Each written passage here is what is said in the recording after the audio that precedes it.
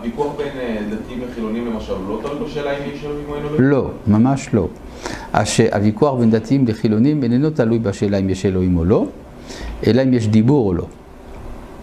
כלומר, השאלה האמיתית, הרצינית שיכולה להישאל, האם ההתגלות, האם הדיבור האלוהי הוא. הוא עובדה היסטורית מתועדת או בלוף.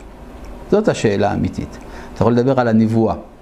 לכן אני תמיד הזכרתי את זה, שכשצמצמו את מספר 13 העיקרים לשלושה, שהם מציאות השם, תורה מן השמיים ושכר ועונש, אחר כך צמצמו לאחד, תורה מן השמיים. כלומר, התורה מן השמיים בתור הממשות של הדיבור, זה התוכן של הוויכוח.